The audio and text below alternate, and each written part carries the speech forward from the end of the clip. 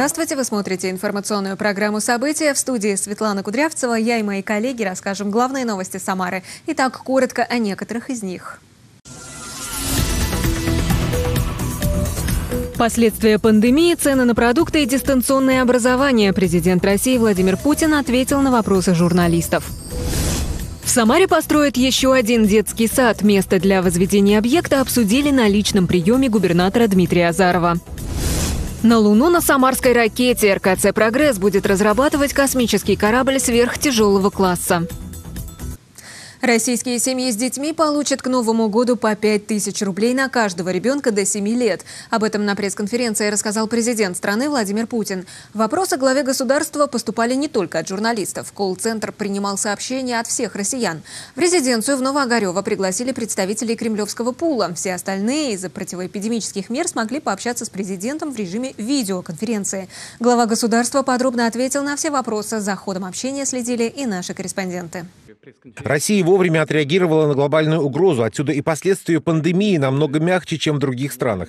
Так Владимир Путин охарактеризовал ситуацию с заболеваемостью коронавирусной инфекцией. Причем это касается как медицины, так и экономических последствий. Падение ВВП в России минимальное среди европейских стран – 3,6% против 9% Великобритании. Что же касается медицины, то именно российские ученые первыми разработали вакцину, которая сейчас уже применяется для формирования иммунного ответа прежде всего среди добровольцев добровольцев-медиков. За время, прошедшее с весенней вспышки заболеваемости, оборудованы сотни антиковидных центров. Существенно повысилась квалификация медицинских работников. На момент, э, э, когда пандемия началась, у нас врачей, это специалистов было э, совсем ничего. Понимаете, там 8300. А сейчас одних врачей 150 тысяч работает по этому направлению. А в целом медицинских работников было больше полумиллиона, 500, по-моему, 20-530 тысяч. Э, что произошло? Мы смогли быстро перепрофилировать часть лечебных заведений э, для борьбы с ковидом и э, выстроить систему переподготовки медицинского персонала.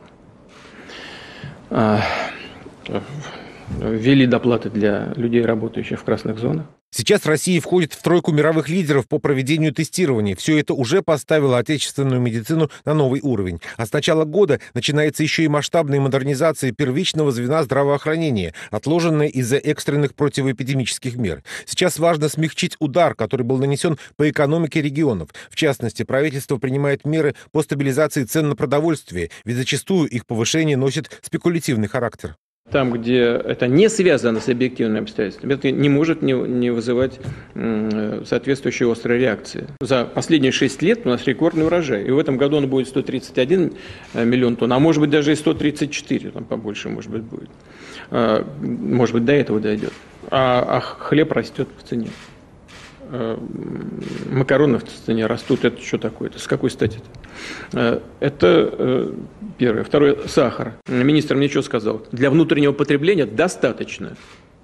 И в то же время, э, как это достаточно, если на 75% рост цен произошел? Или по подсолнечному маслу на 17. Что, у нас семечки нет? Достаточно тоже.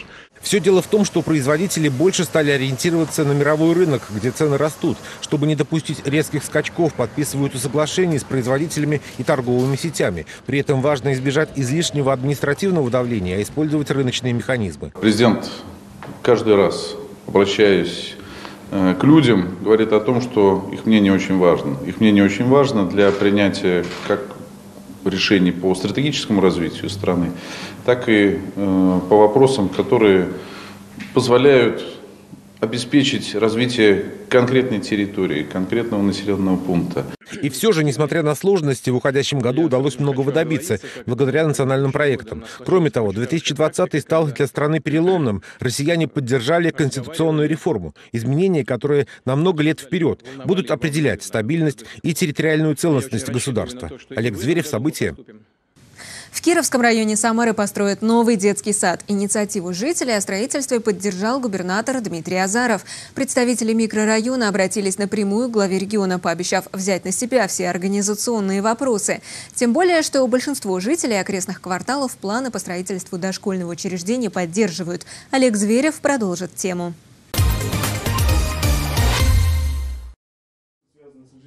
Строительство нового детского сада в Кировском районе Самары – вопрос решенный. После многолетних хождений по инстанциям жители окрестных микрорайонов наконец-то добились такого решения. Об этом стало известно во время разговора на приеме, который провел губернатор Дмитрий Азаров. Глава региона поддержал инициативу жителей, тем более, что необходимость в дошкольном учреждении на этом месте давно назрела. Мы знаем, что там более двух тысяч э, заявок, э, очередь в детский садик. Поэтому мы, когда узнали о том, что будет такая, есть такая инициатива, есть такая возможность построить в нашем э, дворе садик, естественно, мы ее поддержали. Я надеюсь, что нам сделают детский садик учтут интересы всех сторон. Э, в свою очередь мы тоже готовы, как жители, пойти на компромиссы, помочь и в строительстве, помочь в дальнейшем уже в содержании благоустроенной территории.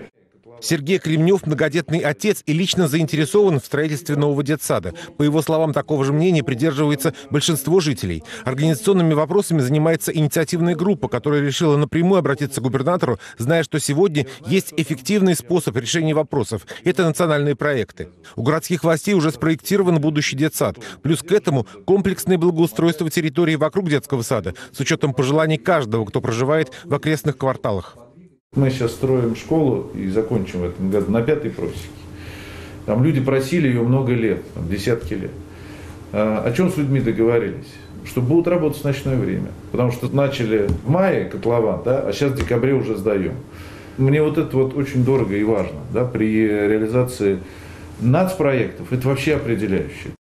Еще один вопрос, с которым к главе региона обратились уже жители Тольятти, это реализация программы «Молодой семье доступное жилье». В 2020 году почти полторы тысячи молодых семей региона получили выплаты на приобретение жилья, а это миллиард сто миллионов рублей из бюджета всех уровней. Но порой возникают и частные проблемы. 10 тысяч молодых семей еще ждут этой поддержки. Губернатор отметил, что Самарская область – один из немногих субъектов России, который разработал программу для семей, не сумевших получить выплаты до достижения 36-летнего возраста роста. Глава региона дал поручение мэру Тольятти и Министерству социально-демографической и семейной политики рассмотреть проблемы заявителей в индивидуальном порядке. Олег Зверев, События.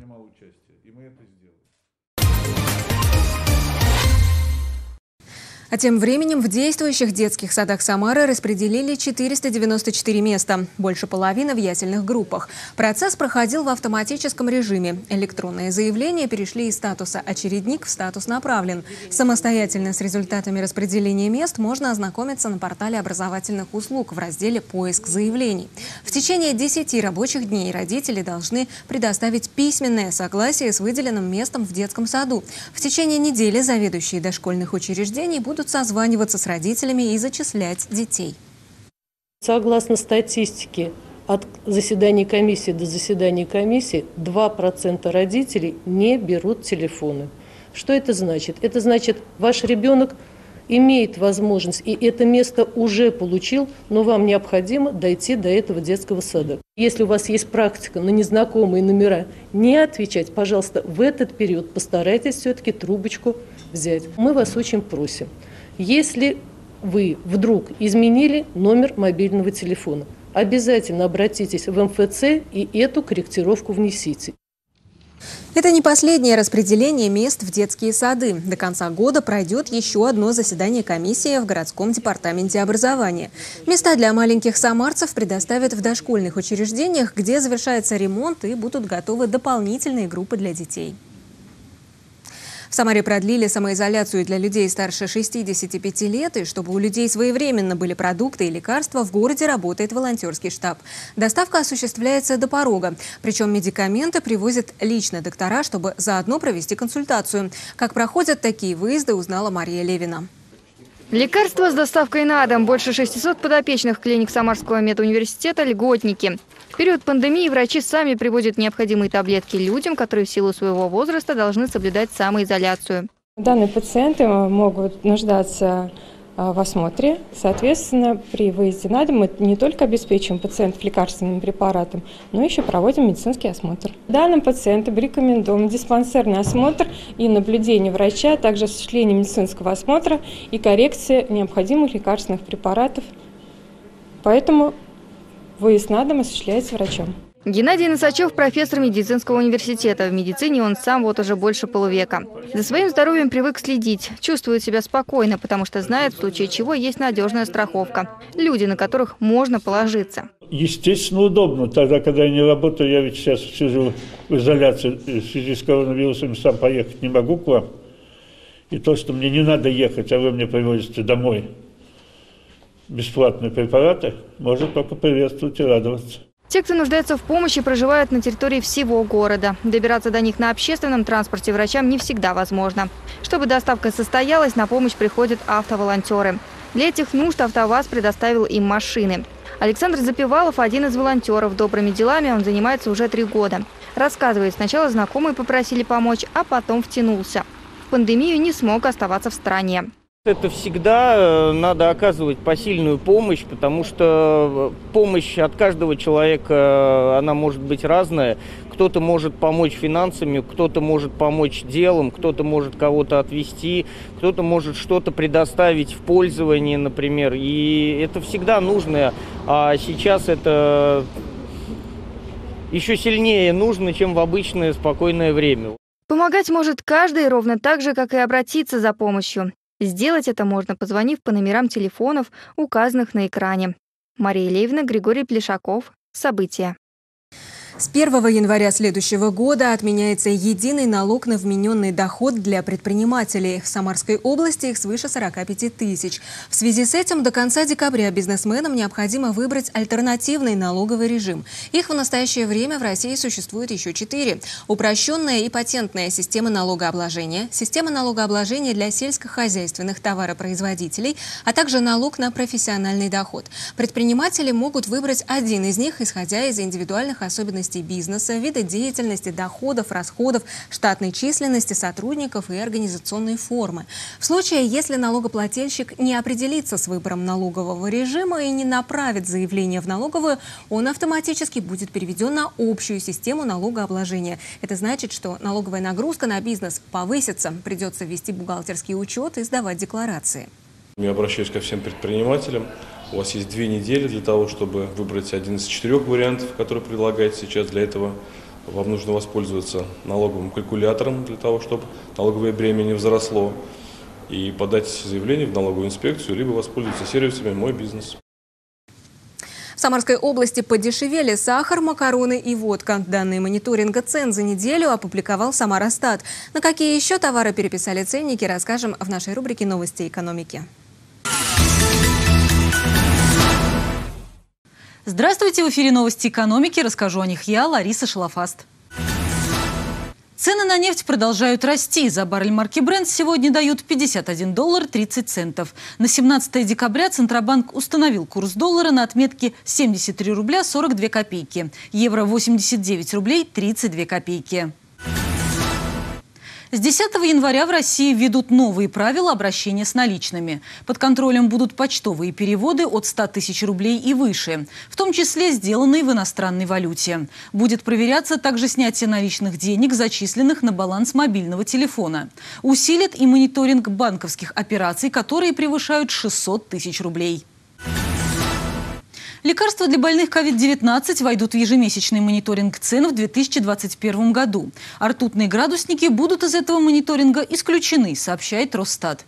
Это связано с тем, что с 2020 года в стране прекращено производство не только ртутных медицинских термометров, но и приборов для измерения кровяного давления, барометров, люминесцентных ламп и прочих изделий, содержащих ртуть. А в Самарской области подешевели сахар, макароны и водка. Данные мониторинга цен за неделю опубликовал Самаростат. Небольшое понижение стоимости коснулось и мяса. Ценники на говядину, свинину и курицу переписали примерно на 2%. Больше всего прибавили в цене помидоры и огурцы. В среднем плюс 10%. Куриные яйца подорожали на 5%, на 2% яблоки. На этом сегодня все. Удачи в делах! Самарский РКЦ «Прогресс» стал победителем конкурса на разработку ключевых элементов и технологий создания космического ракетного комплекса сверхтяжелого класса. Планируется, что ракета будет использоваться для пилотируемых миссий на Луну и планеты Солнечной системы. Общая сумма контракта составляет почти полтора миллиарда рублей. Заказчиком выступает госкорпорация «Роскосмос». Срок исполнения контракта – ноябрь 2021 года. Самарская область вошла в десятку лучших регионов страны по привлечению инвестиций и развитию внутреннего туризма. За прошедший год регион поднялся сразу на несколько позиций и занял восьмое место среди 40 субъектов России, потеснив Ростовскую область и Краснодарский край. Исследование по привлекательности регионов страны проводится ежегодно Национальным конгресс-бюро. Сегодня в торжественной обстановке состоялась презентация и вручение событийного паспорта Самарской области. Документ подробно изучила Ольга Павлова и готова раскрыть детали. На первый взгляд, вполне обычное мероприятие по развитию инфраструктуры и экономического потенциала области. Но открыв буклет с названием «Экономический паспорт региона», становится понятно, в Самаре не только самые красивые девушки. По привлечению инвестиций и развитию внутреннего туризма регион занял восьмое место среди 40 субъектов Российской Федерации. Ежегодный рейтинг российского ивент-рынка представил научный центр R&C. Эксперты учли все факторы, начиная от внешней привлекательности региона, заканчивая реализацией крупных инвестиционных проектов на территории области. Самое главное в любой локации, да, в любом городе, это люди. Вот, здесь просто прекрасные люди, они э, располагают, да, и, собственно, мы хотим и готовы приезжать в ваш регион. Соглашение между правительством Самарской области и Ассоциацией Национального конгресс-бюро заключили в 2019 году на площадке Петербургского международного экономического форума. Благодаря развитой инфраструктуре, богатому культурному и историческому наследию губернии у региона хороший потенциал для организации и проведения мероприятий самого высокого уровня. Несколько крупных инвесторов уже изъявили желание работать на территории области, сеть косметических товаров и организации по проведению городских праздников. В разработке сейчас находятся проекты по улучшению транспортных развязок, строительству отелей и ресторанов, как в черте черте областного центра, так и за его пределами. Планы инвесторов немного нарушает нестабильная обстановка, связанная с пандемией, но желание спонсоров реализовать крупные проекты сильнее любой непогоды. Я уверен, что после нормализации ситуации и отмены ограничений мы сможем вернуться к нашим наработкам и сделать все, чтобы задуманное воплотилось в жизнь. Сегодня, объединив наши усилия, мы проводим эту стратегическую сессию, на котором участники смогут познакомиться с опытом и достижениями специалистов из других субъектов Российской Федерации, обсудить проблемные вопросы, выработать стратегию развития событийной отрасли нашего региона. Как никогда сейчас актуально в условиях закрытых границ. Нам просто необходимо развивать и представлять нас. Немаловажную роль в исследовании экспертов сыграли туристическая привлекательность и транспортная доступность региона. В лидеры традиционно вышли Санкт-Петербург и Екатеринбург. На одну позицию выше поднялась Казань. В состав топ-10 с существенным улучшением показателей вошли Самара, Ростов-на-Дону и Красноярск. Национальное конгресс-бюро было создано с целью объединить профессиональных игроков рынка индустрии встреч для обмена опытом и продвижения регионов России на внутреннем и внешнем рынке. Ольга Павлова, Николай Епифанов. События. Дарят вторую жизнь устаревшей технике. В Самаре проекту «Технодар» исполнилось два года. За это время безвозмездно благотворительным, общественным и некоммерческим организациям вручили более 160 единиц техники. Подробнее об этом расскажет Елена Малютина. Любовь к технике и желание помочь людям – вот что объединяет семь самарских волонтеров. Они дарят вторую жизнь устаревшей, списанной или ненужной технике. Мастера принимают ее у всех желающих, ремонтируют, чистят, настраивают и в готовом виде передают тем, кто в ней нуждается, но не может себе позволить. Это некоммерческие благотворительные организации, сельские дома культуры, библиотеки и детские объединения. За два года специалисты уже восстановили и передали в дар более 160 единиц техники. Мы в ноябре запустили акцию «Мы сами приезжаем за техникой к людям» и забираем у них ее. Причем рабочую, нерабочую, без разницы. И люди очень хорошо прореагировали, то есть там э, было в районе там, 3000 просмотров, куча лайков, э, куча комментариев, все такие писали, о, классно, наконец-то, давно пора. И люди начали активно включаться, именно частные люди, то есть э, обычные, не, не, не организация, а именно люди. Поэтому мне кажется, как бы, что всем нравится эта идея. Просто не все про нее знают еще. Проект «Технодар» – это уникальная и эксклюзивная история Самарской области. В России нет подобных проектов. Поэтому волжские техники-энтузиасты, заручившись поддержкой Офиса цифрового развития региона, планируют распространить его по всей стране, чтобы помочь большому количеству некоммерческих организаций и к тому же благотворно повлиять на экологию. Техника не попадает а, на полигоны, то есть если ее ну, там, физическое лицо просто выбрасывает в контейнер, она попадает на полигоны. А она все-таки достаточно вредная, потому что там и пластик, и редкоземельные тяжелые металлы, э, там, ну, в общем, серьез, серьезный вред окружающей среде. Это раз. Второй момент – это польза общественных организаций, потому что передача в организацию – это все-таки помощь, там, ну, скажем так, уже десяткам человек, а э, финансов-то особо у некоммерческой организации нету. Ненужную технику можно передать в дар либо лично по адресу проспект Ленина, 10, либо оставить заявку в социальных сетях. Тогда ее заберут из вашего дома или офиса. Ту электронику, которую никак не восстановить, волонтеры отправят на переработку. Остальное обязательно передадут тем, кто в ней остро нуждается. Елена Малютина, Сергей Баскин. События. Спрос у россиян на услуги психологов за последний год вырос в два раза. Особенно горячим выдался осенний сезон. Чаще всего люди приходили к специалистам с жалобами на тревожность из-за новостей о пандемии. Запросы людей подогревали рынок, и теперь быть психологом стало еще популярнее. Проблема лишь в том, что все чаще предлагают свои услуги специалисты без академической базы знаний. Насколько ситуация противоречивая, попробовала выяснить Гульфия Сафина. Тревожность по поводу пандемии, страх потерять работу и чувство одиночества на удаленке. По сравнению с прошлым годом, этой осенью россияне стали вдвое чаще обращаться за помощью к психологам. И хорошо, если он имеет достаточно опыта и знаний. Хуже, если специалист он лишь на словах. Анна Толчеева пришла в психологию не сразу. По первому образованию экономист. Со временем поняла, с выбором предназначения ошиблась и прошла курсы коучинга.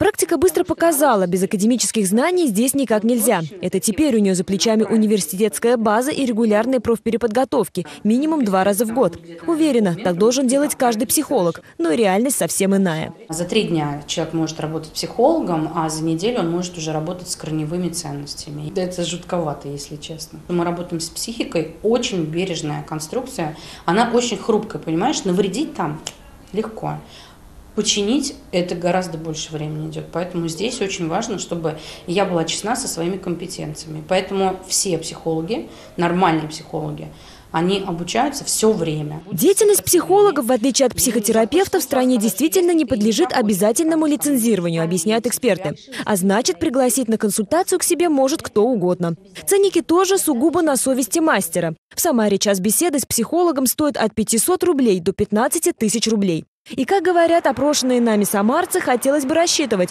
что деньги уходят не за простые беседы с самозванными экспертами. Мне кажется, это так тонко, потому что люди приходят к психологам, как к врачам за помощью. Я думаю, что они должны быть прям специалистами, образованными, с опытом. Уйти просто так к необразованному человеку, просто пообщаться. Но это, знаете, я так к папе могу сходить, посидеть.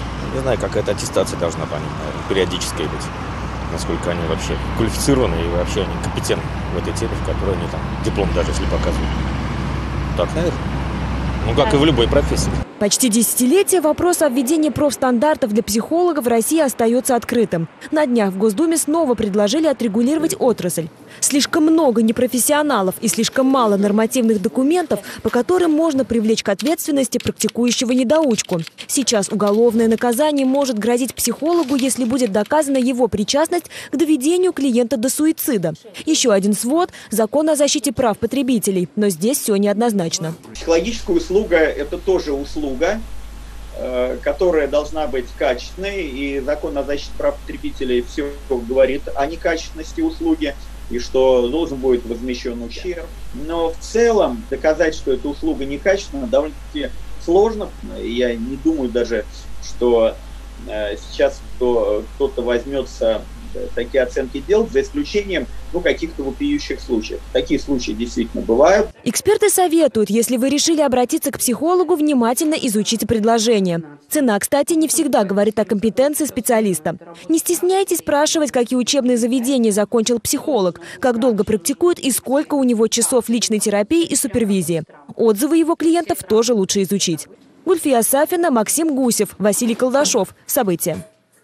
На этом наш выпуск завершен. Берегите себя и своих близких. Всего вам самого доброго.